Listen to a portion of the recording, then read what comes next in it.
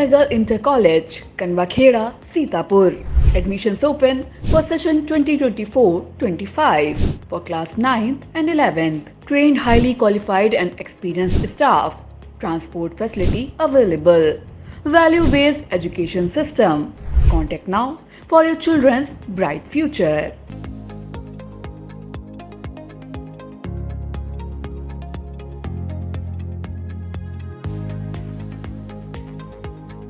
Misrikh Lok Sabha seat से चौथी बार भाजपा के सिंबल पर सांसद चुने गए अशोक रावत ने सांसद के रूप में शपथ ली।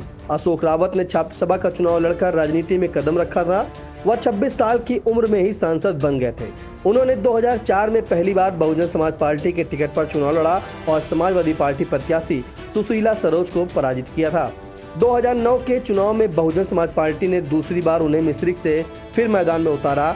2014 के चुनाव में अशोक रावत फिर से चुनाव में उतरे, लेकिन इस बार उनके विजय रथ को भाजपा प्रत्याशी डॉक्टर अंजू बाला ने रोक दिया।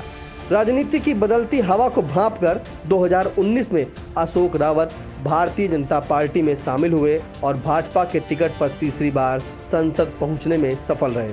चौथी बार इस इलाके का प्रतिनिधित्व करेंगे। 2024 के लोकसभा चुनाव में सांसद अशोक रावत ने सपा प्रत्याशी संगीता राजवंशी को हराया है। मैं अशोक कुमार गोवर्धन लाल रावत जो लोकसभा का सदस्य निर्वाचित हुआ हूँ, ईश्वर की शपथ लेता हूँ कि मैं विधि द्वारा स्थापित भारत के संविधान के प्रति सच्ची श्रद्धा और निष्ठा रखूँगा। मैं भारत की प्रभुता और अखंडता अक्षुण रखूँगा। तथा जिस पद को मैं ग्रहण करने वाला हूँ उसके कर्तव्यों का श्रद्धापूर्वक निर्वहन करूँगा। भारत माता की जय। जय पासी समाज।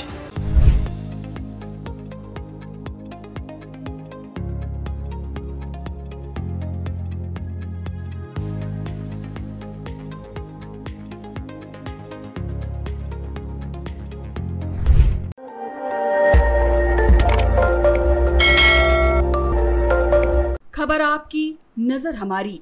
देखते रहिए आई इंडिया।